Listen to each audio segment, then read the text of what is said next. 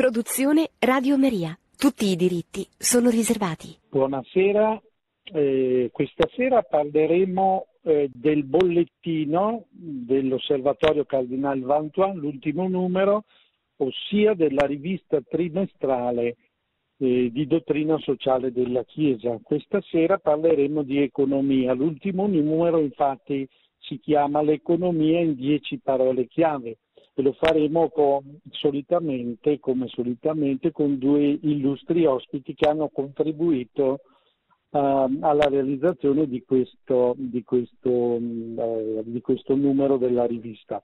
Ecco, le dieci parole chiave, ecco, ve le dico, che abbiamo trattato mh, in questo numero della rivista sono il capitale e il lavoro, il debito, la finanza, il fisco, impresa familiare, mercato e Stato, moneta, natalità, salario, usura.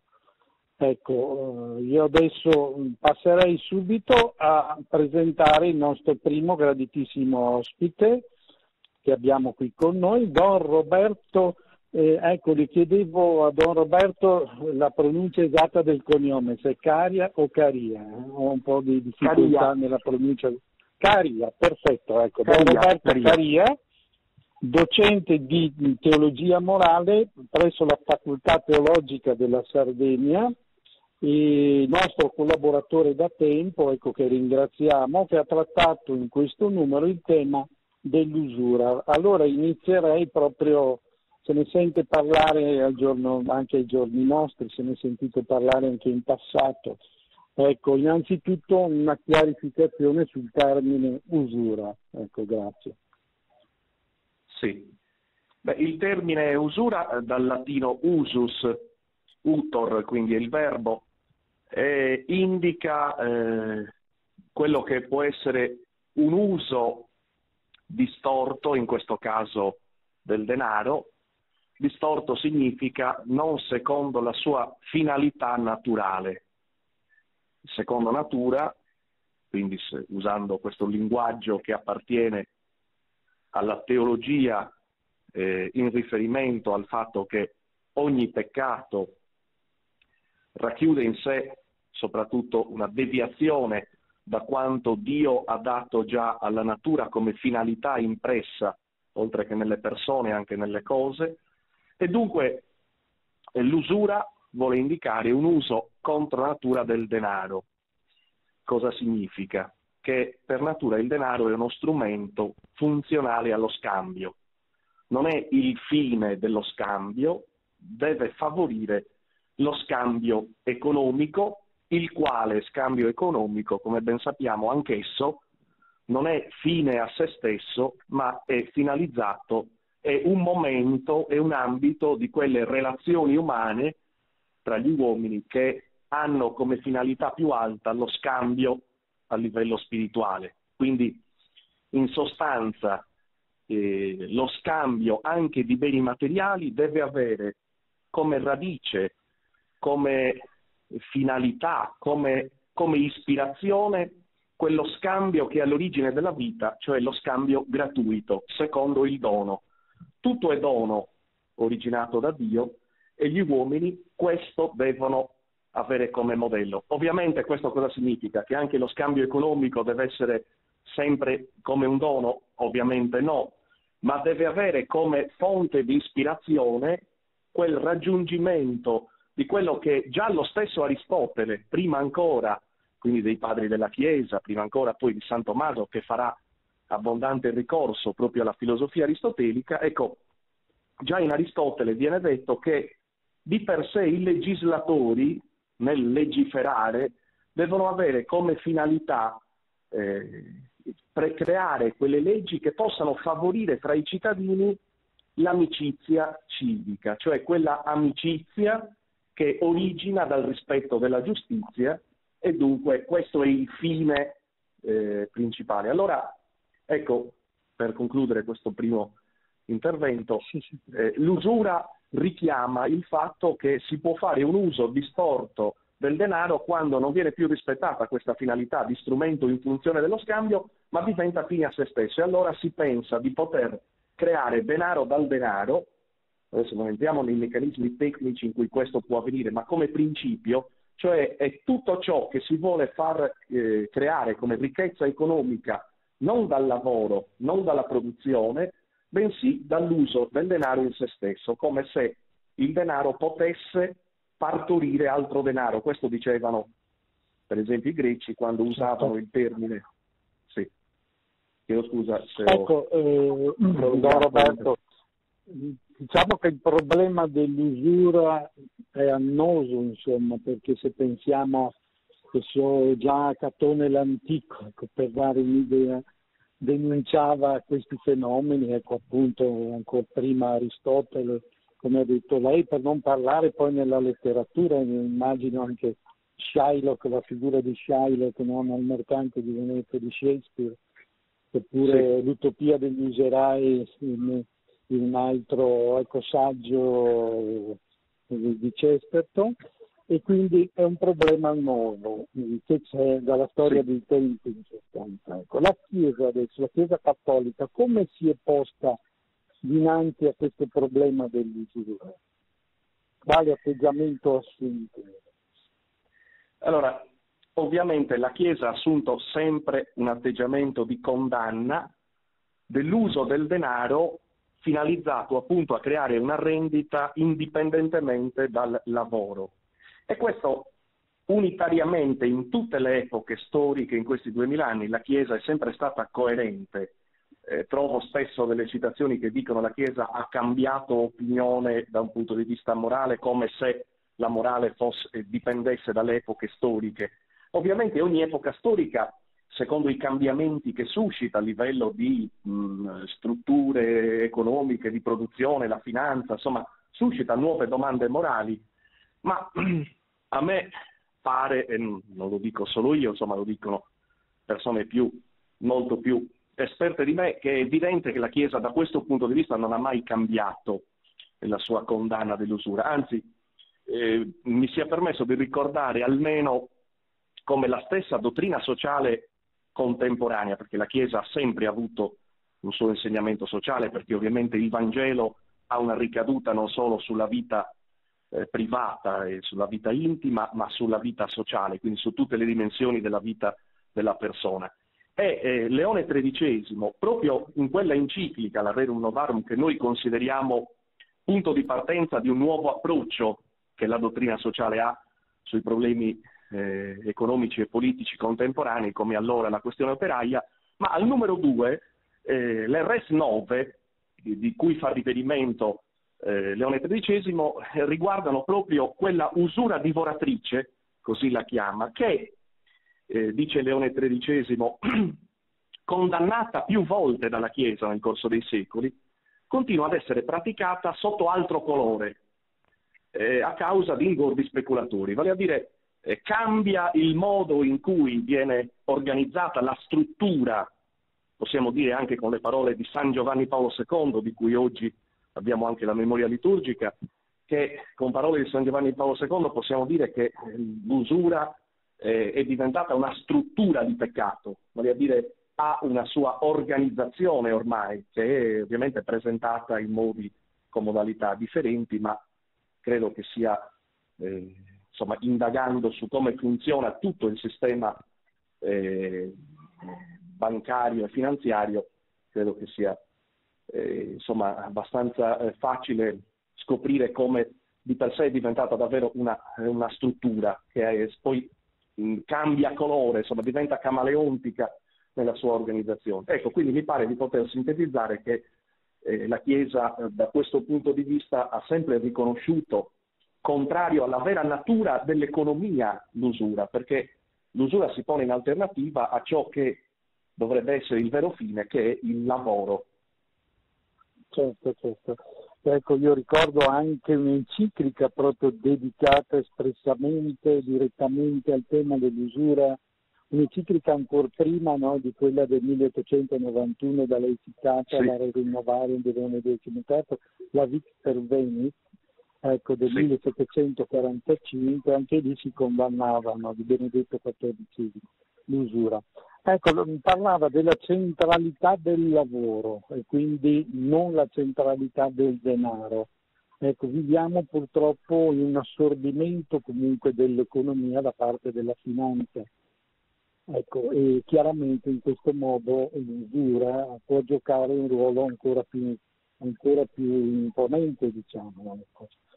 ecco su questo, sì. mh, ecco, se si può rimettere, come anche lo stesso Giovanni Paolo II, che ha fatto bene ricordare la memoria oggi, la centralità del lavoro, ecco, in tante sue encicliche, ricordo la Laboring e Essence, solo per citarne qualcuna di Giovanni Paolo II, ecco, poneva proprio il lavoro umano la centralità del lavoro. Ecco, se si può dire mm, qualcosa in merito proprio su questa dimensione della centralità del lavoro dell'umanità, insomma, delle persone. Sì, eh, credo che oggi questo discorso verta molto sulla eh, centralità che ha l'uomo anche nella, nel progresso tecnico. Eh, oggi siamo dentro una, una cultura che, eh, come nella sollecitude Re Sociali, sul numero 36, lo stesso San Giovanni Paolo II denunciava, dentro una idolatria della tecnica e dunque poi anche della tecnologia. E in sostanza oggi culturalmente è molto presente una sorta di positivismo scientifico che porta a idolatrare la scienza ma non la scienza in se stessa, che ovviamente non deve essere idolatrata, ma ha una funzione importantissima e la Chiesa è sempre stata dalla parte della scienza, ha creato scienza, ha favorito gli scienziati, quindi non, non c'è stata mai, eh, se non da un punto di vista ideologico, una, una contrarietà da questo punto di vista. Però non possiamo negare che lo sviluppo eh, tecnico e tecnologico in qualche modo è come se volesse scavalcare la centralità dell'uomo all'interno della produzione economica, del lavoro e dell'attività economica. Quindi eh, la finanza appare come un progresso tecnologico altissimo perché oggi, eh, diciamo che questo è un po' un difetto che origina dall'epoca moderna, eh, l'idea che il meccanismo, il funzionamento automatico sia superiore eh, o, o, possa venire eh, incontro alle fragilità dell'uomo dentro le sue relazioni anche lavorative, anche tecniche.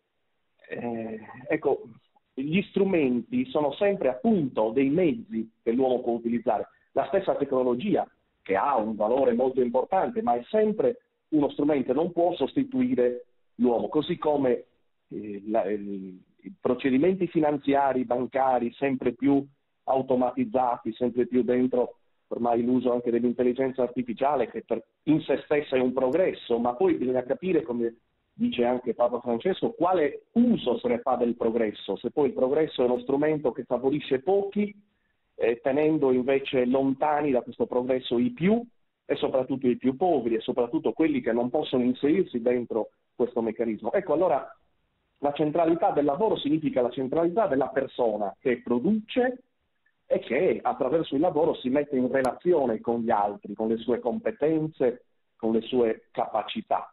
E questo non può essere sostituito da nessun meccanismo anonimo e neanche da un meccanismo che possa creare ricchezza, eh, in qualche modo sfruttando il lavoro altrui e vivendo di vendita. Quindi eh, addirittura la Chiesa nel corso del Medioevo, con i concili lateranensi del 1100-1200, è arrivata addirittura proibire, oltre che l'Eucaristia, anche le esequie agli usurai notori, proprio perché causavano un danno sociale enorme.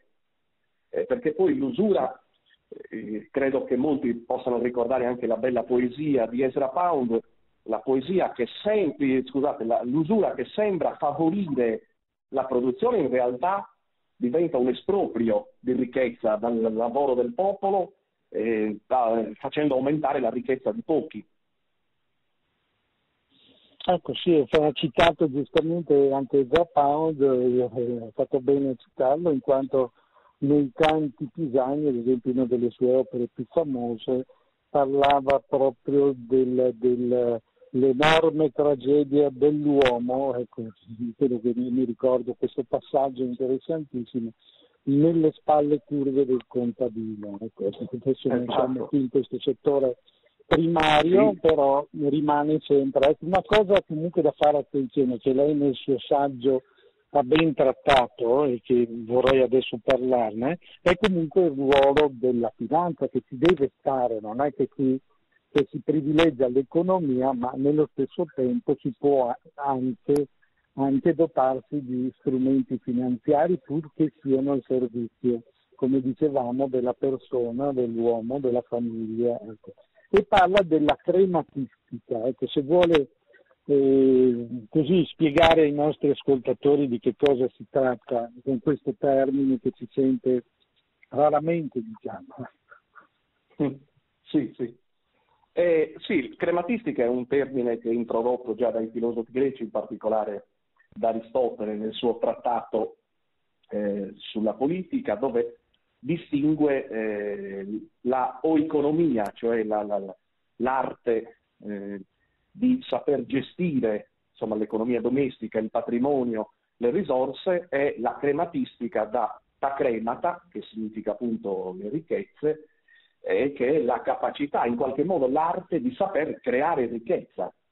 E questo è anche importante, c'è una ricchezza naturale che attraverso il lavoro l'uomo può creare e che è una ricchezza sacrosanta e legittima, quindi quando è creata attraverso le competenze, la capacità, l'applicazione nel lavoro, la dedizione, eh, la creazione anche di strumenti che possano migliorare il benessere della comunità, degli altri. Quindi eh, la crematistica ecco, è quella, quella parte, chiamiamola anche scientifica, della eh, capacità di creare ricchezza, la quale deve sempre avere un legame con la capacità di creare ricchezza attraverso il lavoro, attraverso le competenze, attraverso eh, l'applicazione dell'ingegno che l'uomo fa alla natura, eh, non solo nel creare degli strumenti, perché l'uomo può applicare il suo ingegno eh, profondo alla natura per creare strumenti che creano danno agli altri, cioè si può studiare l'atomo fino a, a scoprirne la sua bellezza, la sua ricchezza, ma non è necessario crearne una bomba atomica, per dire adesso, per, per stare. Quindi non ogni competenza e non ogni eh, capacità tecnica l'uomo può usarla, come dire, per un fine che sia un fine eh, in qualche modo distruttivo o deleterio per gli altri, ma che sia sempre di edificazione per il bene materiale e spirituale dell'altro e della comunità. Quindi la crematistica, ecco, ecco, mi sia permesso di ricordare anche un altro piccolo dettaglio che troviamo anche in San Tommaso, quando nella questio eh, 78 della seconda secunde, dove tratta appunto eh, all'interno del bellissimo trattato sulla giustizia, de Justitia et Iure, eh, lì San Tommaso ricorda anche questo per dire anche la modernità di, di, di un approccio all'economia che non è chiuso semplicemente in una condanna dell'usura, punto e basta. E lì San Tommaso dice, eh, è chiaro che il prestito in sé del denaro, quindi il mutuo in sé, quando io trasferisco eh, la proprietà del mio bene all'altro, quello non richiede alcun interesse, perché altrimenti io sto usando due volte quel bene, eh, trasferisco la proprietà e lo uso in qualche modo per fare, per guadagnare su quel bene. Quel bene richiama solo eh, la sua restituzione. Eh? Mutuum date, lille indesperantes, eh, il capitolo 6 di San Luca, eccetera. Ma dice San Tommaso, ci sono altri investimenti anche di un capitale monetario, quando per esempio ovviamente lui usa immagini del suo periodo, eh, della produzione economica di quel periodo, quando dice io posso, senza trasferire la proprietà, fare un investimento di mio capitale monetario, per esempio con un mercante che parte verso l'Oriente per acquistare stoffe o prodotti che non esistono nel mio paese, che possono migliorare o rendere essere utili anche all'arte, all'artigianato, e compartecipo con quella mia somma a una cosa, a un lavoro di un mercante di cui poi potrò subire o dei guadagni o anche delle perdite. Quindi questo per dire che la condanna dell'usura non significa che non ci sia la possibilità, chiarendo nei confini, di compartecipare Eh, ecco, di tutto questo di per sé dovrebbe farsi mediatrice la banca se torna a fare sol- o a distinguere il credito all'impresa dal, eh, dalla speculazione finanziaria. Certo, certo. E infatti riprendendo sempre San Tommaso d'Aquino, no? Mi sembra che lui proprio parlasse di crematistica naturale, no? cioè quella, sì. come ha detto lei, che è in funzione dell'economia, cioè è sussidiaria, diciamo, sussidiaria all'economia. Ecco, e questa crematistica naturale mi sembrava che Tommaso indicasse in particolar modo l'importanza della finalità, no? Cioè sì. che la finalità, non soltanto che il commercio chiaramente sia lecito, ma ci rammentava proprio il, ver- il, vero fine, qual è il vero fine, perché è tutto orientato chiaramente, come dicevamo all'inizio, sulla dignità della persona umana, ecco, e quindi anche il fine in prospettiva cristiana è anche la salvezza dell'anima, oltre che la salvezza diciamo, in questa vita, di questa vita dignitosa, di quello che può essere i suoi beni di questa vita, soprattutto i beni spirituali. Ecco, sulla finalità se può ancora suggerire qualche orientamento. Ecco. Sì. Beh, credo si possa ribadire come la finalità della giustizia nell'ambito dell'economia, quindi sia nella, nella, dimensione del lavoro che nell'uso dei beni e nell'uso del denaro, quindi il giusto, il giusto salario, il giusto profitto, il giusto uso del credito, eh, sono tutti finalizzati eh, a quella giustizia che l'uomo è chiamato a praticare e che è il fondamento poi della carità. E infatti, come ben sappiamo, San Tommaso ci ricorda che è la carità la radice di ogni virtù, così come la superbia lo è del vizio. E San Tommaso ricorda anche che la superbia, in quanto radice del vizio, di ogni vizio, ha la parte materiale proprio nella avarizia, che non è soltanto il, il trattenere i beni, ma anche la cupidigia di guadagno. Quindi la finalità che c'è nell'agire economico personale, quindi qui stiamo parlando ognuno nella sua vita, ognuno di noi agisce economicamente. Eh, quindi la finalità dei beni è sempre quello di essere uno strumento, un mezzo eh, a servizio della virtù, perché il fine più alto, come lei ha ben ricordato, per l'uomo è la beatitudine eterna. Quindi la beatitudine eterna, quali sono i beni che aiutano eh, a conseguire la beatitudine eterna? Beh, eh, in, in, una serie quindi di, di, di, di mezzi, eh, San Tommaso stesso colloca l'uso dei mezzi materiali, l'uso quindi anche dei beni, pur necessari a una dignitosa vita umana, eh, non al primo posto ovviamente, al primo posto ci sono i beni spirituali, i beni dell'anima, la virtù, eh, la pratica eh, della carità in tutte le sue dimensioni, della giustizia e quindi l'uso dei beni che deve essere inserito dentro le finalità più alte e più nobili dell'uomo. Certo. Mm, adesso devo fare una domanda mm, sui monti di pietà, che lei ne parla nel suo saggio. Ecco, mm, perché capita così quando magari si va ancora adesso a visitare qualche città nel suo borgo medievale, di vedere all'interno magari di qualche portico, come può capitare, è capitato anche a me, di vedere proprio Monte di Pietà. No? Ecco, se può mh, spiegare un attimo eh, come mai, dove sono sorti eh, e chi li ha guidato insomma, alla formazione di questi Monti di Pietà. Sì, proprio nei giorni scorsi ho avuto la gioia di eh, visitare Feltre, ero ospite a Belluno del professor Trabucco eh, e ho avuto, grazie a lui, anche la possibilità di visitare Feltre e, e di entrare nella chiesa dove c'è la veste di Bernardino da Feltre, il beato Bernardino da Feltre, che fu nel 1400 tra coloro che ebbero la felice intuizione, seguendo le omelie e gli insegnamenti di San Bernardino da Siena, di eh, creare questo strumento a servizio soprattutto delle classi eh, più povere, delle classi sociali che avevano bisogno anche di un piccolo credito in funzione della loro piccola attività produttiva, quindi non era eh, un istituto nato per eh, fare un credito al consumo, come diremo oggi, ma per favorire e sostenere chi doveva affrontare un'annata di lavoro nei campi,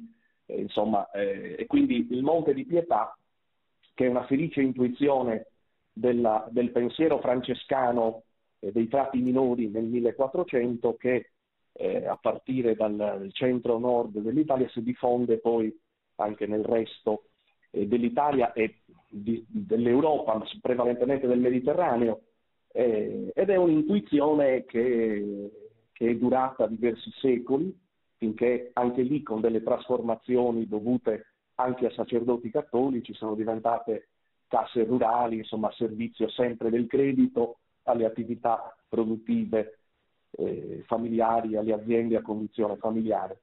Ecco, questa eh, felice intuizione eh, voleva in qualche modo proteggere eh, i piccoli lavoratori dal, dagli usurai eh, e da coloro che prestavano il denaro, spesso anche nei banchi cittadini, con degli interessi esorbitanti.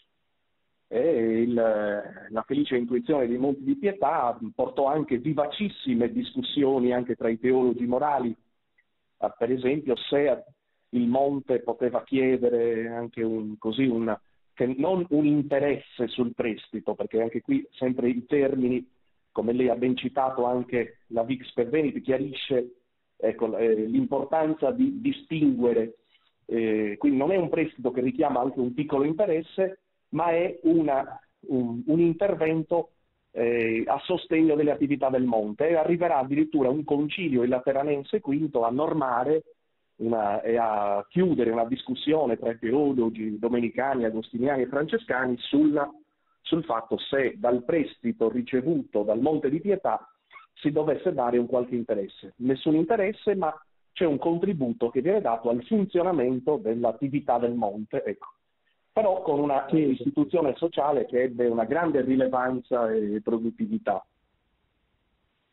Certo, certo. Ecco, un altro tema che lei ha ricordato, adesso qui siamo sull'ultima domanda, ecco poi lasceremo anche il secondo ospite. Lei ha ricordato il distributismo, in particolare, ecco, se vogliamo, prima abbiamo parlato di, dei minori francescani, in questo caso col distributismo parliamo dei domenicani, che lei ha ricordato padre Vincent McNabb, eh, anche lui c'è un processo di beatificazione in corso. Ecco, se vuol tratteggiare così brevemente che cos'è stata questa opera di McNabb del distributismo. Sì, la, l'opera distributista è, ha un'attualità che è da riscoprire, soprattutto in questi tempi.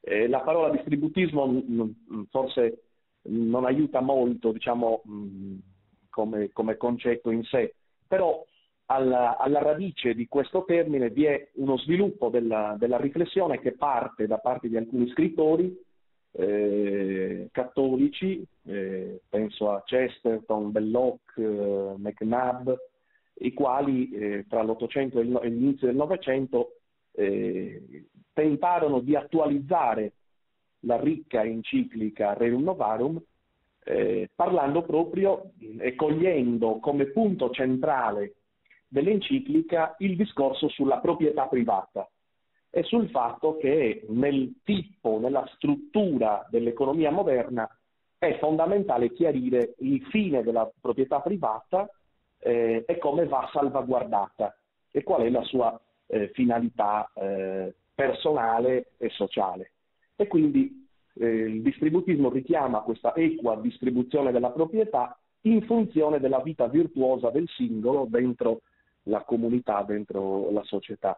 Eh, la Chiesa e la Terra, che è l'opera principale del domenicano Vincent McNabb, che è una, pur essendo scritta nei primi anni venti del Novecento, eh, quindi a un secolo di distanza, ha un'attualità eh, bellissima e quindi la consiglio proprio anche come lettura eh, spirituale in qualche modo, oltre che anche una, una serie di provocazioni sulla realtà sociale, economica e politica, proprio perché ci dà uno spaccato anche eh, di, che, di, quelli che sono i rischi eh, della, di una certa mentalità attuale di un certo modo di percepire l'uso e il rapporto con i beni e quali sono invece le virtù da riacquisire e riportare anche al centro della società, perché oggi c'è molto bisogno di riportare al centro della vita comunitaria anche le vere virtù sociali, visto che è un'epoca in cui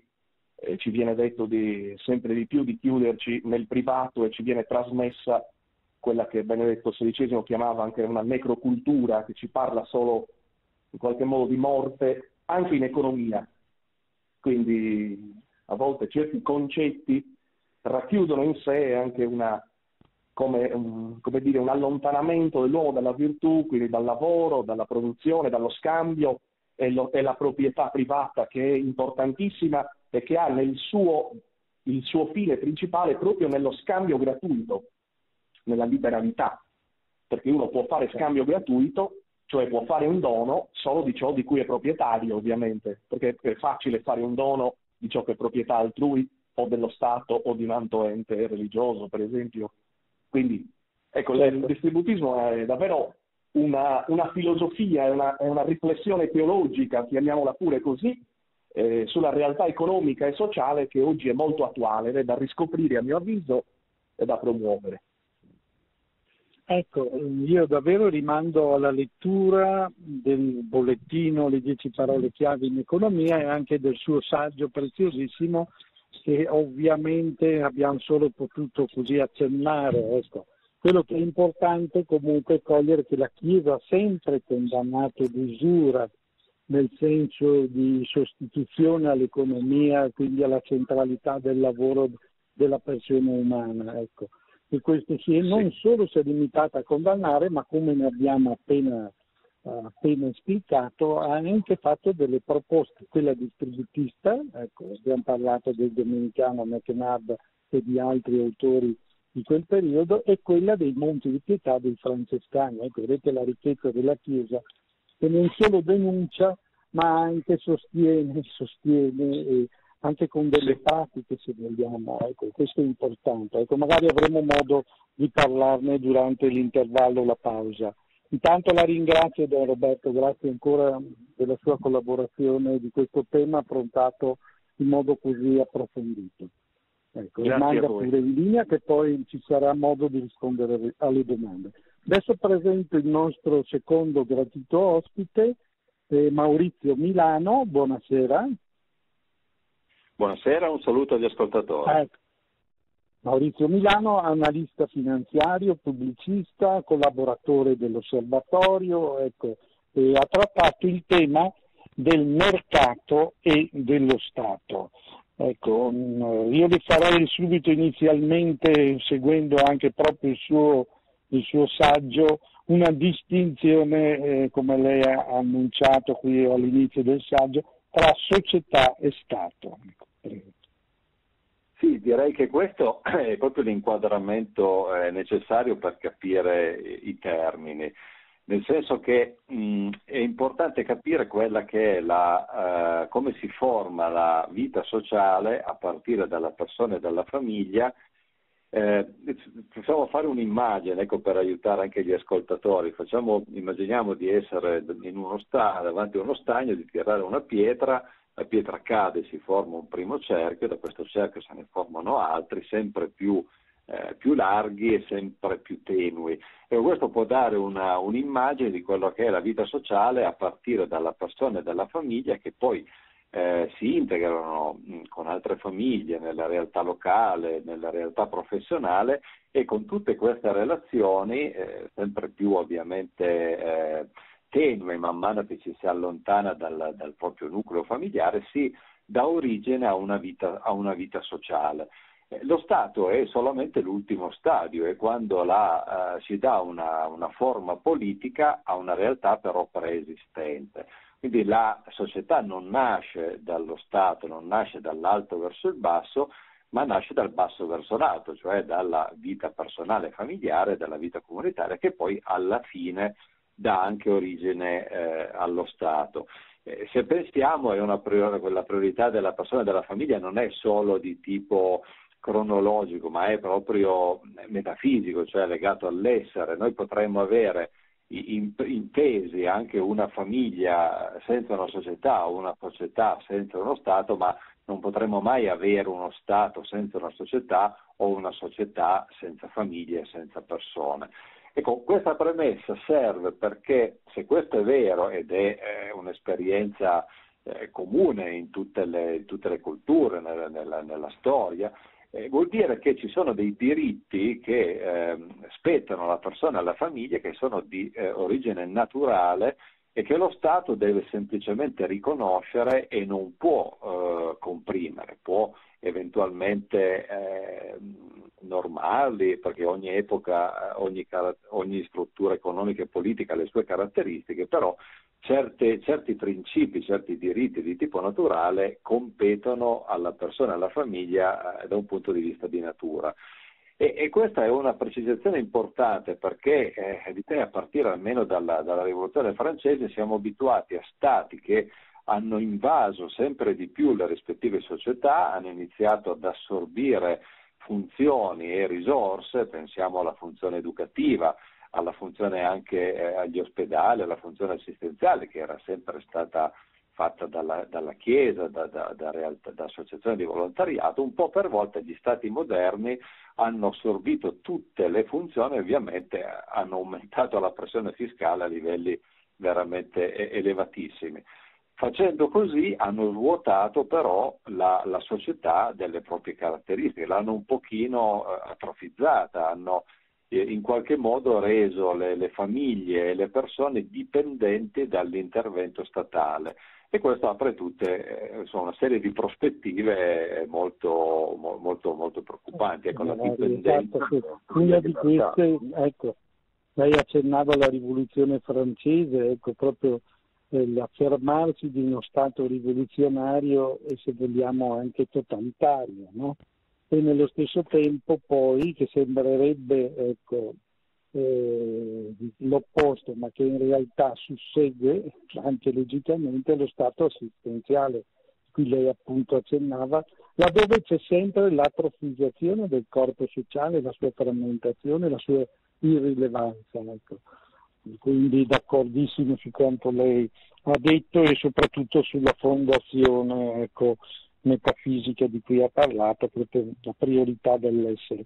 Ecco, invece tornando proprio al tema del mercato, ecco, lei ha detto che tra le varie istituzioni sociali compare il mercato. Spesso magari quando si sente mercato uno pensa al mercantilismo oppure alla liceità di fare un po' quello che si vuole. Ecco, se vuole dare un po' un'impostazione sul concetto di mercato. Sì, questo è un punto molto importante perché purtroppo eh, si fa un po' confusione, nel senso che è esperienza comune che i sistemi economici contemporanei non stiano funzionando, stiano funzionando molto male perché si crea concentrazione di ricchezza, perché c'è eccesso di regolamentazione, tassazione molto, molto, molto alta e, e così via. E questo è vero, ma eh, tutto ciò non è conseguenza di un'economia troppo libera, ma è conseguenza di un sistema eh, che in inglese si chiama chronic capitalism, cioè capitalismo clientelare, dove i grandi gruppi privati, industriali e finanziari sono in qualche modo collusi col potere politico e alla fine se la cantano e se la, se la suonano. Pensiamo agli Stati Uniti, eh, i vari segretari del tesoro, i vari responsabili politici spesso pre- hanno una, un passato nelle grandi banche d'affari, poi magari ci sono le porte, le, li chiamano le porte girevoli, no? passano dalla, da, dalle grandi imprese a, a, a, funzioni politiche e poi tornano alle grandi imprese. Ecco, questo è, è vero ed è un grosso problema, ma non è eh, l'esempio di un'economia libera, è anzi è la sua il suo opposto. L'economia libera presuppone che ci sia una, um, un ruolo dello Stato uh, molto più, uh, più, leggero e soprattutto non, lo Stato non deve giocare con una delle squadre in campo, dovrebbe semplicemente garantire che ci sia un campo piano, cioè delle regole di gioco eh, valide per tutte, e poi la capacità imprenditoriale, la, la sagacia delle persone in un mercato libero dovrebbe contribuire alla creazione della ricchezza, ad aumentare la, la produttività e quindi anche la, la, remunerazione del lavoro senza coercizione e senza falsificare le regole. Purtroppo e soprattutto direi negli ultimi 25-30 anni abbiamo assistito a stati che si sono legati sempre di più al potere politico, al, al potere economico e finanziario e eh, l'uso anche del, del, denaro, se ne accennava prima, le, le, le banche centrali e il sistema eh, della, del, delle banche commerciali a riserva frazionaria hanno, fa, hanno, innescato un processo di finanziarizzazione dell'economia che eh, porta dinamiche inflazionistiche a danno soprattutto dei, dei piccoli e, di chi ha redditi fissi come salari e stipendi. Ecco, però questo non è il libero mercato, ma è, ne è la sua falsificazione, non è un eccesso di libertà, ma è, la, è proprio la collusione, il capitalismo clientelare che è il grande male, ma purtroppo non, non si denuncia mai la vera causa e, e si dà la colpa a un eccesso di libertà che sinceramente non c'è perché se qualcuno di noi ha provato a ristrutturare casa anche solo o avere una piccola impresa si rende conto che non c'è un eccesso di libertà, anzi è difficilissimo fare impresa e non solo in Italia ma nella maggior parte dei paesi moderni oramai. Ecco, mm, passando ora ai compiti propri dello Stato, no? noi abbiamo prima denunciato diciamo così, i massimalismi, ecco, l'assistenzialismo da una parte, la pervasività no? dell'intervento statuale dall'altra. Ecco, lei cita due documenti, il quadragesimo anno di di Papa Pio XI e la centesimus annus di, di San Giovanni Paolo II, ecco, che ci possono aiutare a comprendere quali siano i compiti propri dello Stato, ecco, se vuole indicarci qualcosa in merito.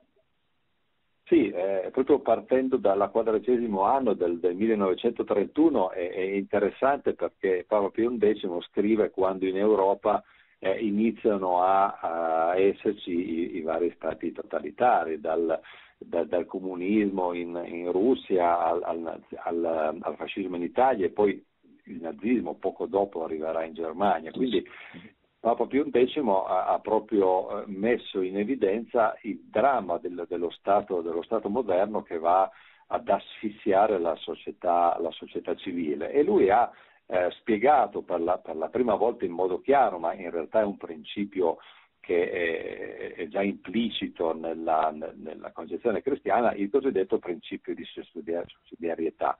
Richiamando l'immagine ho, con cui abbiamo iniziato, cioè quella del, della pietra nello stagno che si allarga per cerchi concentrici, eh, se questo è il modo in cui si forma la società, eh, allora ogni intervento di eh, aiuto deve essere di tipo sussidiario, cioè una realtà di ordine superiore può intervenire per aiutare una realtà di ordine inferiore, ma non per sostituirsi ad essa, eh, quindi in modo sussidiario, in modo di aiuto temporaneo, ma con l'obiettivo di far sì che la realtà di ordine inferiore si rimetta eh, in sesto il più in fretta possibile.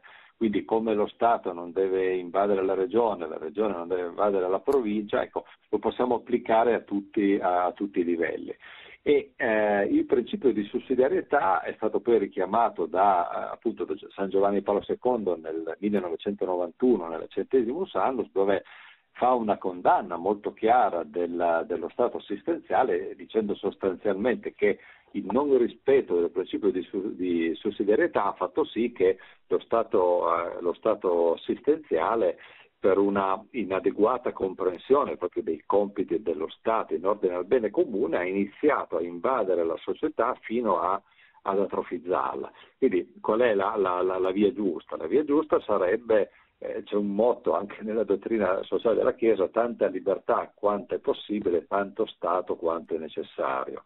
Lo Stato è, è necessario, soprattutto in sistemi economici complessi come quelli moderni, ma deve avere un ruolo di ehm, definizione, di aiuto del bene comune, ma non deve pretendersi di sostituirsi alla società, alle imprese, alle famiglie, alle persone, perché facendo così si crea proprio quella alleanza malsana tra, eh, tra, tra, il, grande potere politico e il grande potere economico e finanziario che alla fine ha come unico risultato quello di eh, portare una concentrazione della ricchezza in pochi e a danneggiare i piccoli che alla fine perdono voce in capitolo, perdono, perdono libertà, perdono autonomia e, e, direi che è l'esperienza del, degli, ultimi, degli ultimi anni molto, molto evidente.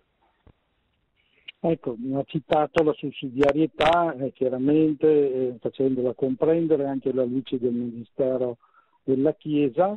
Lei però ha accennato anche in questo suo saggio anche a altri principi fondamentali no, della dottrina sociale della Chiesa. Ecco, se vuole mm, così accennarli in merito proprio a quello che lei chiama la ragione d'essere, il rapporto equo giusto tra società, Stato e mercato. Sì, eh, diciamo che i tre principi chiave della dottrina sociale della Chiesa sono la solidarietà, la sussidiarietà e il bene comune. E, e come sempre con le parole bisogna intendersi, se no si rischia di, eh, appunto di, di, di andare fuori strada. Della sussidiarietà ne abbiamo parlato, la sussidiarietà è, è proprio il, la conseguenza della visione antropologica e sociologica che abbiamo descritto di una società che parte dalla persona e dalla famiglia dal basso verso l'alto.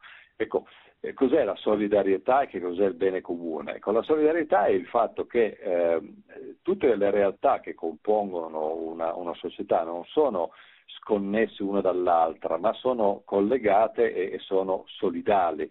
Questo vuol dire che ehm, non si, si, può ragionare in modo eh, individualistico, anche perché l'individualismo alla fine eh, apre la strada al collettivismo. È un po' quello che è successo con, con l'ideologia liberale che pretendeva di tagliare i vincoli e rendere la persona assolutamente libera, ma non si era reso conto che non erano, molte non erano catene ma erano cordoni ombelicali, quindi un certo individualismo alla fine degenera nel collettivismo. Quindi proprio perché vogliamo bene alla persona, alla famiglia, alle, realtà, alle, varie realtà sociali, non possiamo avere una visione eh, individualista e quindi di qua il principio di solidarietà.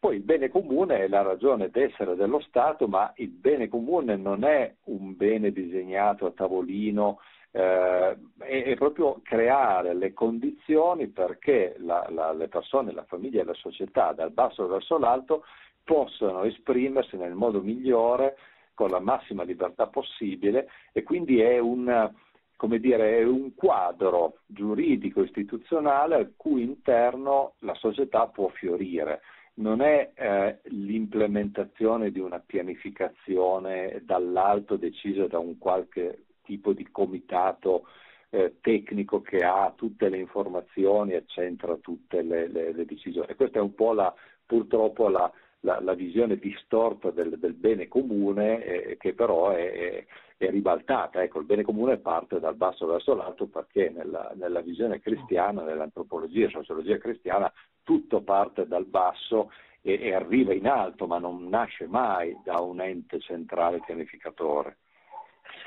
Certo, ecco, parlando appunto di questa ragione d'essere, quindi società, società Stato e mercato, eh, qui arriviamo quasi alla penultima domanda, diciamo così, ecco, eh, perché poi esoriamo il tempo. Eh, ecco, lei parla anche di società articolata, di Stato ordinato e di mercato davvero libero. Ecco, sul mercato abbiamo un po' accennato, perché è facile dire che il mercato è libero, però in realtà poi non lo è veramente. No? In merito invece a questa società articolata di cui parla, dallo Stato ordinato, ecco, cosa può suggerire?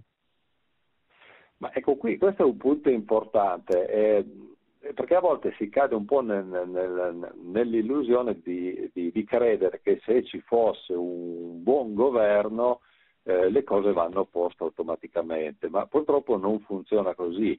Eh, come dicevamo, tutto nasce dal basso verso l'alto.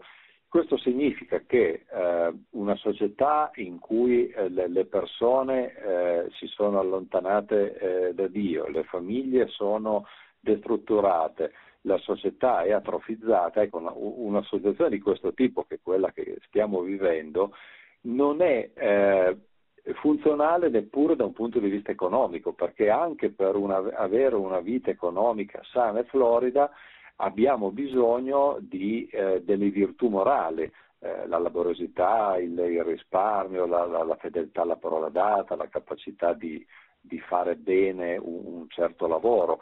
Quindi come sempre si nota che eh, ci sono delle, delle realtà eh, de, de, prepolitiche, se vogliamo, quindi de, delle virtù che hanno anche alla fine un valore economico e, e questo non deve, non deve, stupire perché l'uomo è eh, un'unità organica, quindi il fatto che eh, la perdita della virtù danneggi anche il sistema economico e poi il sistema politico, secondo me è una conferma di un ordine che non può essere eh, danneggiato eh, impunemente. Quindi non potremo mai arrivare ad avere un buono Stato se non c'è una buona società e una buona società è fatta da buone famiglie eh, e quindi il punto di partenza la, è, è, la conversione individuale, no? non, non, si può dire adesso ci sediamo a Trevolino e facciamo un bel piano, no, quello che dobbiamo fare è, è convertire noi e la nostra famiglia.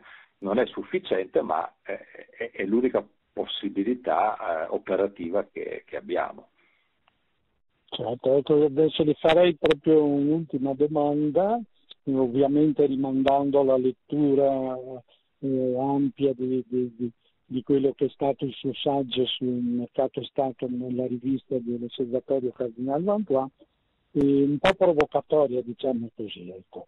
Oggi si sente parlare no, di sviluppo sostenibile, l'agenda 2030, però nello stesso tempo la Chiesa invece parla di sviluppo umano integrale. So che sono concetti che ci vorrebbe una trasmissione a parte, però accennando per, per la pericolosità di questo sviluppo sostenibile pronunciato dall'agenda ONU 2030 invece perché bisogna proprio partire dallo sviluppo umano integrale come ad esempio nel Magistero di, indicato da Benedetto XVI. Eh sì, il termine di, di sostenibilità eh, ormai è diventato eh, invasivo, lo vediamo anche, viene utilizzato anche nelle scuole, un po' dappertutto. E purtroppo è figlio di una mentalità che considera l'essere umano come un problema, quindi sono i vecchi miti eh, neomaltusiani che vedono un, un, eccesso della popolazione come la grande minaccia per, per il pianeta. Eh, ricordo che tutte le previsioni fatte negli ultimi 50 anni si sono rivelate assolutamente false perché la popolazione è aumentata e la povertà si è ridotta, quindi non si sono create le carestie che venivano paventate e ultimamente purtroppo la moda è quella di vedere la grande emergenza nel, nelle emissioni di CO2 e, e ahimè eh, noi persone respirando emettiamo CO2. Quindi quando io sento parlare di sostenibilità eh, ho sempre un po' la paura che eh, chi usa questo termine, che ovviamente eh, l'aggettivo in sé non è, non è, che sia brutto, ma eh, ci, sia portatore di una, di una mentalità eh, che vede l'essere umano in fondo un po' come come il problema, eh, mentre invece anche da un punto di vista economico molto, molto semplice, se, eh, se continua la, il collasso demografico in atto, noi avremo dei problemi eh, sul sistema, sulla tenuta del sistema pensionistico e sanitario, perché avremo eh, più persone anziane che quindi hanno bisogno di eh, maggiore assistenza e eh, ovviamente saranno fruitori di pensione, su una popolazione in età lavorativa sempre più contratta a causa della denatalità e questo creerà dei grossi problemi sì di sostenibilità.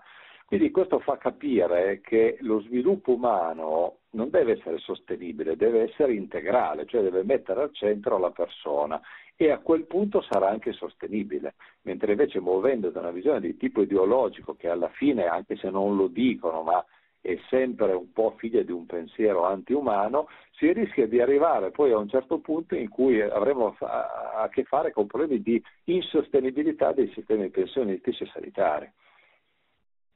Ecco, quindi lo sviluppo umano integrale pone al centro, come anche il principio della dottrina sociale della Chiesa, che è la dignità della persona eh, umana, ma anche direi le relazioni, le sue relazioni, no? le relazioni con Dio, le relazioni eh, con il prossimo e, e anche le relazioni con la natura e con se stesso. Quindi io credo anche su, anche su questo sviluppo umano integrale ci sia ancora molto molto da approfondire. La Chiesa come sempre non è in ritardo nei tempi ma in anticipo, ecco paradossalmente, rispetto magari a, a, visioni più laiciste, diciamo, che sembrano più attuali, in realtà invece sono più vecchie. La Chiesa è sempre in anticipo, quindi quando ci richiama a questo sviluppo umano integrale, ecco, lei ovviamente se è d'accordo con me o se vuole aggiungere qualcosa, si richiama sicuramente alla ricchezza e alla dignità della persona, ma anche al sanare proprio anche le stesse relazioni, innanzitutto con Dio, laddove magari c'è una relazione fragile, ecco, quindi ecco, per l'uomo, ecco, tanto più è uomo, tanto più riconosce che nella sua vita c'è la presenza di Dio, no? E quindi le relazioni poi di conseguenza si mettono a posto. Ecco, se vuole proprio l'ultima battuta finale, dopo cediamo per una pausa la regia, per una pausa musicale. Ma sì, proprio in poche parole, diciamo che eh, l'economia spesso viene vista come una, una scienza astratta fatta di numeri e di grafici, però questa è una deformazione moderna. L'economia in realtà eh, parla dell'azione umana, L'economia eh, descrive quello che fa l'essere umano in relazione al soddisfacimento dei, dei bisogni, quindi dal, dal lavoro allo scambio, tutta l'attività, tutte le attività produttive. È chiaro che se il soggetto dell'attività economica è l'uomo e l'uomo è danneggiato perché ha perso una visione trascendente, perché ha perso le virtù, è, è, è, chiaro che anche il suo lavoro e anche le sue relazioni economiche alla fine saranno danneggiate e non c'è nessun legislatore, nessuna direttiva che potrà sanare una, una mancanza di questo tipo. Quindi di nuovo la conversione individuale delle persone, delle famiglie è anche un bene di tipo economico, anche se sembra strano eh, fare un'affermazione di questo tipo.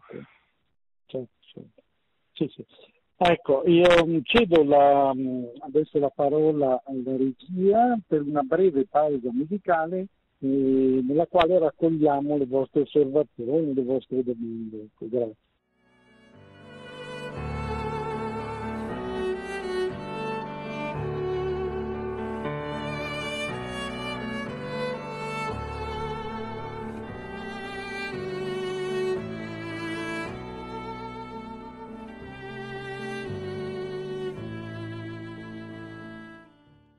Sì, pronto? Pronto? Sì, sì sono da io? dove chiama gentilmente? Sì, sì, ah, lei, lei. Sì. Eh, eh, allora mi chiamo mm, Grazia, abito in Pel di Vicenza, il Veneto.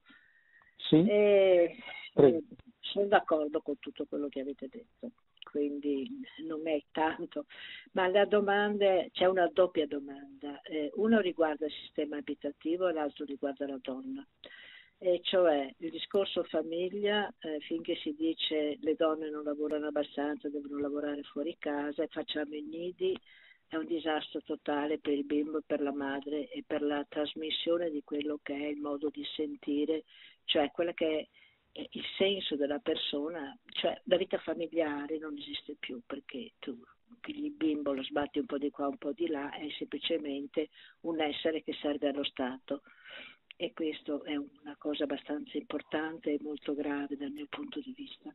L'altra cosa eh, altrettanto importante, mi pare, è il discorso del sistema abitativo.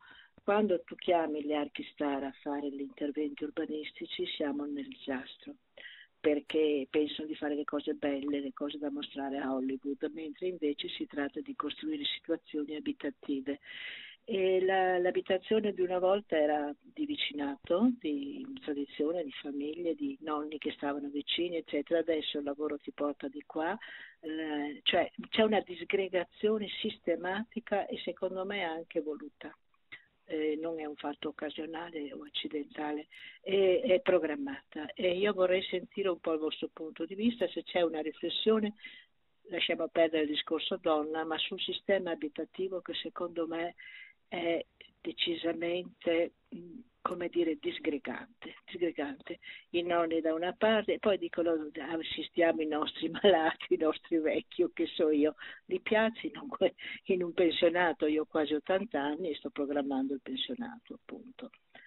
Non è bello, non è bello. Mm. Ecco. Signora, grazie, la, la, veramente io così la ringrazio perché ha invece affrontato due temi che sono estremamente importanti, ecco, dal sistema abitativo, come ha detto lei, qui nella famiglia dove non si vive più le intergenerazionali come c'era una volta, la disgregazione, sono d'accordissimo. E la questione donna, che anche quella è una bella questione che lei ha sollevato, però sentiamo un po', io direi, Maurizio Milano sulla questione anche della disgregazione della famiglia, di questo sistema abitativo che lei ha, denunciato, io mi trovo d'accordo. Ecco, sentiamo comunque anche i nostri relatori cosa hanno da dire. Eh, ma sì, quello che dice la nostra gentile ascoltatrice è assolutamente corretto. Purtroppo eh, la, la, famiglia viene disgregata anche eh, in questo modo. Eh, quando eh, la famiglia è lui e lei è un, è un bimbo, magari una, nella periferia di Milano, lontani da, dalle famiglie di origine, capite che diventa veramente molto molto difficile la, la vita e, e la tendenza all'urbanizzazione purtroppo è sempre più accentuata. Io vivo in una cittadina di provincia, sinceramente non riuscirei neanche a concepire di vivere in una, in una grande città, perché lì purtroppo ci si condanna all'isolamento per, per, per definizione, per i prezzi, la, la, distanza dalle famiglie di origine. La famiglia è sempre stato un qualcosa di allargato, anche il discorso del, dell'aiuto per, la, la, per, i bambini piccoli. E, di nuovo è chiaro che se sono lui e lei e, e il bimbo a Milano, eh, questo aiuto non c'è, se si è in una realtà locale, piccolina, c'è sempre la possibilità di avere un pochino di, di, di supporto. Quindi mh, credo proprio che la, la, la, città moderna come è organizzata non sia a, funzionare alla famiglia, quindi personalmente non, non riuscirei veramente a, a pensare di, di, di, andarci a vivere. Eh, cosa si può fare? appunto cercare di una, una, giovane coppia, secondo me, tanto più che adesso ci sono anche le prospettive di, di lavoro da casa, il cosiddetto smart working, quindi è più facile una, ricostruire un tessuto di, di vita familiare e sociale in una, in una, piccola cittadina. Ecco, poi eh, lo so, eh, sembra facile dirlo, ma ecco, non, non mi viene in mente nient'altro. Ecco, sentirei, non so se, anche se non è l'argomento ecco, proprio specifico dell'usura, però mi sembra che le sollecitazioni di grazia siano davvero interessanti, ecco, anche sulla questione donna effettivamente, non so se Don Roberto vuole rispondere in quasi. Ma io eh, ringrazio eh, appunto Grazia perché eh, tira fuori un argomento che sarebbe importantissimo anche da approfondire, quindi tutti i temi che poi riguardano anche la dottrina sociale della Chiesa hanno una ricchezza di contenuti su cui si può riflettere. Credo che la, il tema dell'abitazione lo ha già introdotto molto bene il dottor Milano, eh, è anche strettamente legato al, al, discorso sulla famiglia e al discorso sulla proprietà privata, quindi eh, tutte le trasformazioni che ci sono oggi, eh, proviamo a pensare anche al cosiddetto green e tutte le politiche che ci sono dietro, è stata citata prima anche l'emergenza della CO2, sono tutte spie, a mio avviso, di progetti molto più grandi eh, di noi, ma che vanno in una linea ben determinata, eh, che a mio avviso non sono a vantaggio ecco, di tutti i principi sani che adesso sono stati nominati anche dall'ascoltatrice, cioè di un abitare sano, una casa dignitosa, un vicinato, la valorizzazione delle zone rurali. Io credo che su questo la Chiesa eh, avrebbe qualcosa in più da fare sulla valorizzazione, per esempio, delle zone rurali. E io, per esempio, penso anche alla mia Sardegna, che è, è spopolata, ma eh, il fenomeno dell'inurbamento continua e quindi anche i piccoli paesi, anche con storie dignitose che si svuotano. E cioè la Chiesa, a mio avviso, potrebbe tentare, perché ha un bagaglio di principi e di tradizione, di storia e di cultura anche civile che potrebbe provare qualcosa di più anche con creatività mm, nell'ambito proprio della casa. E non mh, mm, trascuriamo anche che una, uno degli slogan che viene inculcato ai giovani eh, anche abbastanza spesso è che il futuro sarà un futuro in cui non possiederai nulla e sarai felice, cioè prenderai tutto a noleggio, tutto in affitto, non ti affezionerai mai a una casa, a una dimora che rappresenta la tua vita, la vita della tua famiglia, la tua storia personale, familiare, perché è come se tutto dovesse essere sempre estremamente provvisorio. Ecco, certo che la provvisorietà è un principio che riguarda le cose materiali, ma noi eh, puntiamo anche a una stabilità, che è la stabilità della famiglia, la stabilità economica, dei principi, della fede, de, della moralità. Quindi, ecco, Mm, ci sono tantissimi temi, è bellissimo il tema sì, dell'abitare sì. come è stato proposto. Eh, davvero meriterebbe, la ringrazio ancora, mm, davvero è stato interessante il suo intervento e ci sollecita magari per riprendere questi temi dell'abitazione e anche della questione della donna che sono assolutamente di rilievo. Ecco, poi io sono d'accordo con lei eh, sul fatto che questa disgregazione è stata un po' voluta, insomma, ecco, non è che venga all'improvviso così, eh, è stata un po', come ha detto anche Don Roberto, stata un po' ecco, questi progetti che vanno contro la proprietà privata, ecco, ricordiamo che la proprietà privata è un diritto naturale, quindi va tutelata e così via, vengono da lontano, insomma, ecco. Eh, sentiamo un altro ascoltatore, ascoltatrice, pronto? Pronto? Sì, pro- ecco, sì, da dove chiama gentilmente? Io chiamo da Roma, sì. mi chiamo Maria. Io volevo fare sì. una piccola testimonianza su, sull'usura. Prego. Eh, sì, mi è capitato più di una volta, forse tre volte mi sembra, eh, di aver prestato dei soldi, cioè mi sono offerta io di prestarli ad una persona che lavorava presso, presso di me a ore nella mia, nella mia casa e sì. si accingeva questa persona a chiedere un prestito di 3.000 euro e, e, io ho detto ma e quanti poi ne devi restituire? E abbiamo fatto un po' il conto, ne avrebbe dovuti restituire eh, 4.500. Dicono guarda te li presto io, così mi ridai 3.000 euro e mi dirai così con comodo quando tu ce li hai. E, e così questa persona ha accettato, mi ha ringraziato e, e, così mi ha restituito poi i soldi fino all'ultimo euro. E, e, volevo dire questo, si prova una grande gioia a poter risolvere, aiutare una persona a risolvere un piccolo problema così. Quindi ecco. Certo, certo. Certo, certo, signora Maria, sì, sì, eh, ha fatto bene a dare questa testimonianza perché eh, spesso appunto l'amicizia, le sane relazioni possono aiutare le persone in difficoltà anche economica, come lei ha fatto in sintonia tra l'altro col Magistero della Chiesa, una visione cristiana. Quindi davvero una testimonianza molto bella che ci ha dato è interessante ecco, come possiamo farci prossimo e aiutare le persone che hanno difficoltà noi vicini. Ecco. È chiaramente una bella testimonianza, vorrei sentire in questo senso anche Don Roberto. Ecco.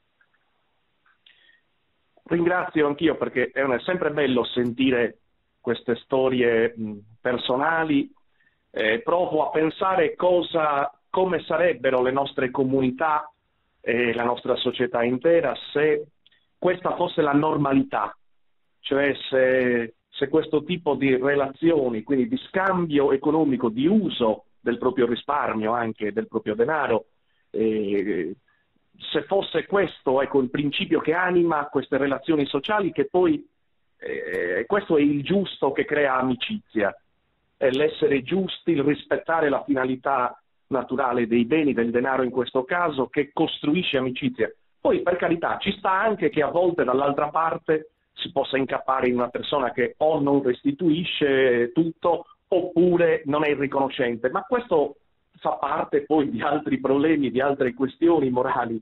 Però è bello che ci sia il principio in un'epoca in cui purtroppo per diversi motivi eh, che sicuramente il dottor Minano ha spiegato e sa spiegare molto meglio, il denaro è idolatrato, è diventato il centro, almeno nell'immaginario, nel pensare, quindi è come se fosse un idolo davanti al quale si può calpestare qualunque principio morale pur di, eh, di guadagnarli in un modo, appunto non in modo sano, in un modo buono, in un modo eh, che, che, che mette in gioco la propria capacità produttiva e lavorativa, ma appunto cercando di eh, entrare in una logica di un guadagno del denaro fine a se stesso o del denaro che produce se stesso e quindi una logica in qualche modo eh, non sana.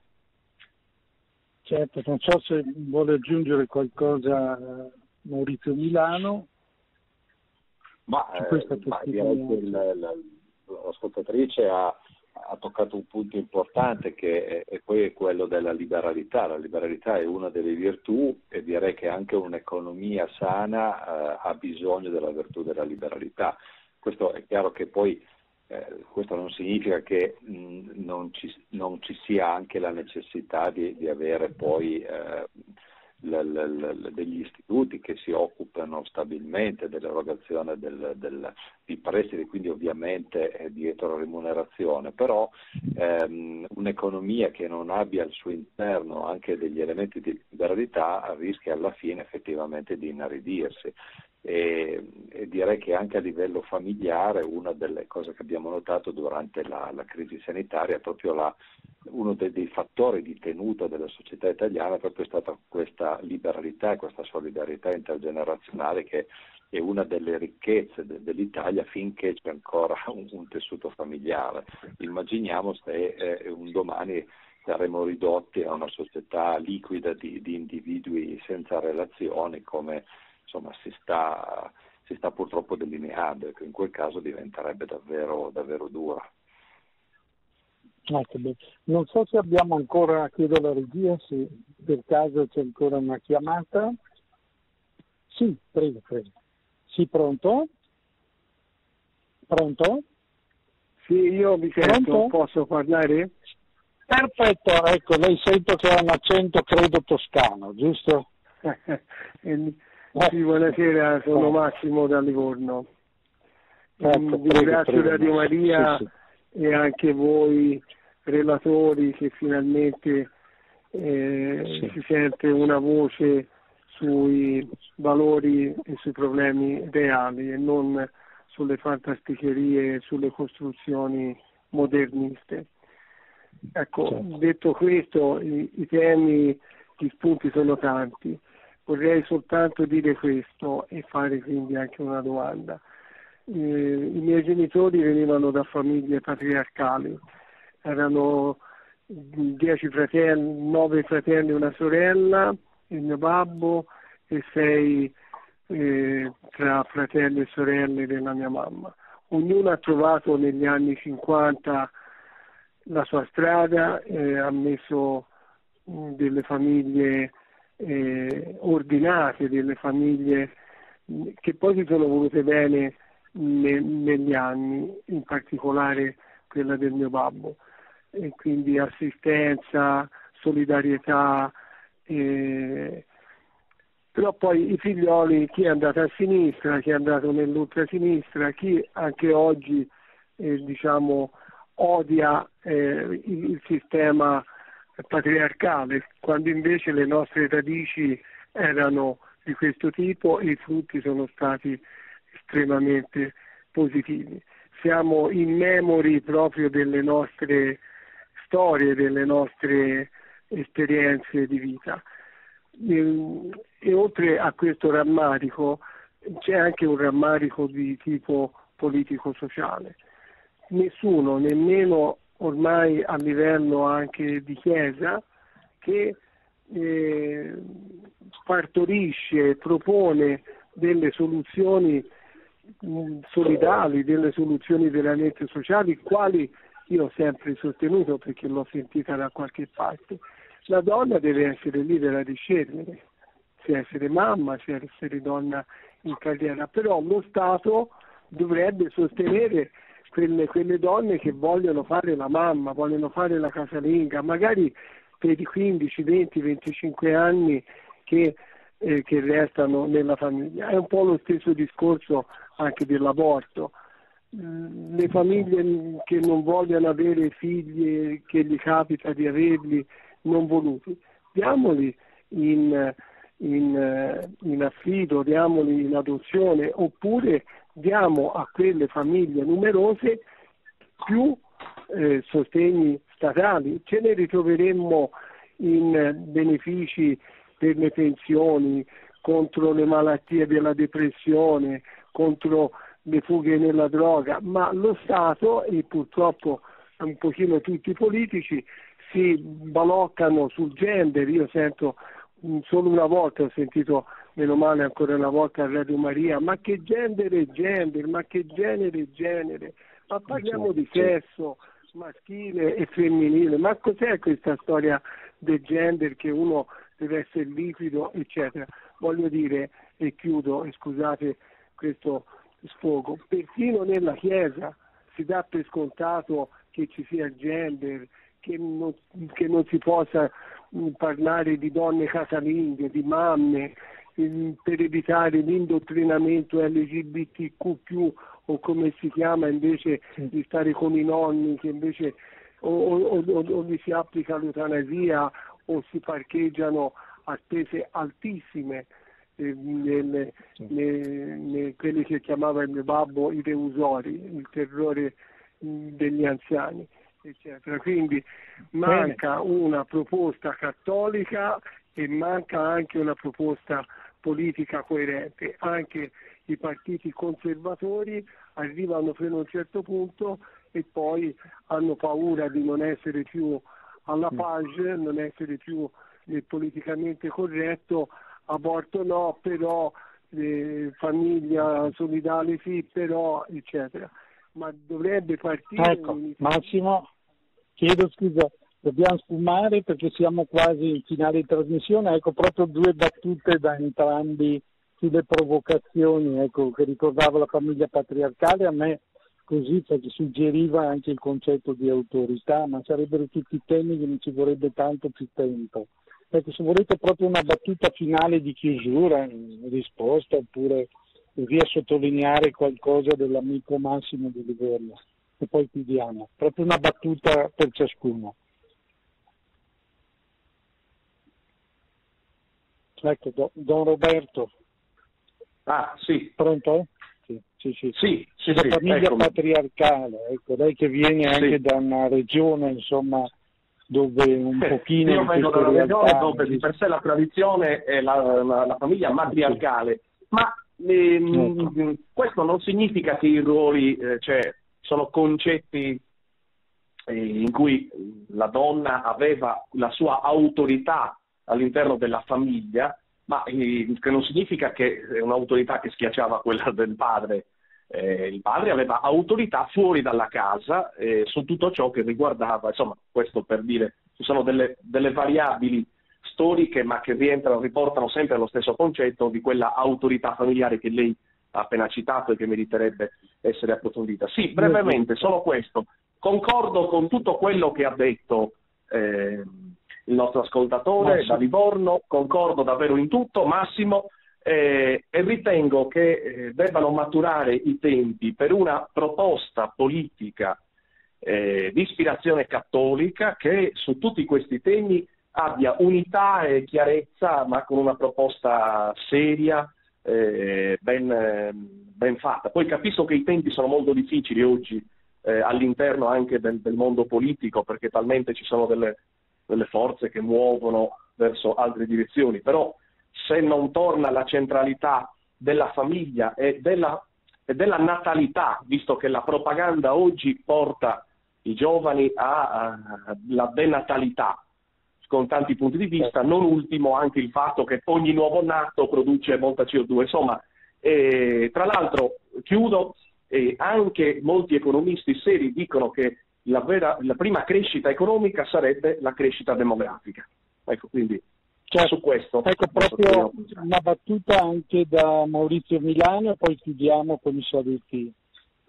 Sì, sì, concordo anch'io, è vero che la, la famiglia è essenziale per la tenuta del sistema economico, ma direi ancora di più, è essenziale per la libertà, perché un sistema che distrugge la famiglia, che riduce le persone a, a singoli, a- al singolo cittadino che si trova nudo di fronte al potere politico, beh, in quel caso lì perde ogni libertà.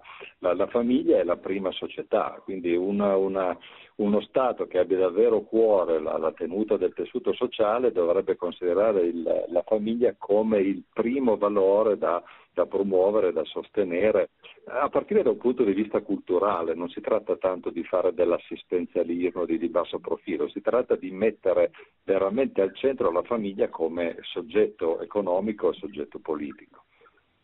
Perfetto, io davvero ringrazio i nostri graditissimi ospiti, Don Roberto Caria, Maurizio Milano, invito a acquistare e leggere la rivista trimestrale dell'Osservatorio Cardinal Vantuan dedicata all'economia, ultimo numero. Do, ringrazio chiaramente la regia di Radio Maria ecco, che ci consente da una decina d'anni di fare queste programmazioni ogni terzo sabato del mese. Ringrazio tutti gli ascoltatori che sono intervenuti, coloro anche che non ce l'hanno fatta di intervenire. E a tutti auguro una buona notte e una buona domenica. Arrivederci al prossimo terzo sabato del mese. Produzione Radio Maria. Tutti i diritti sono riservati.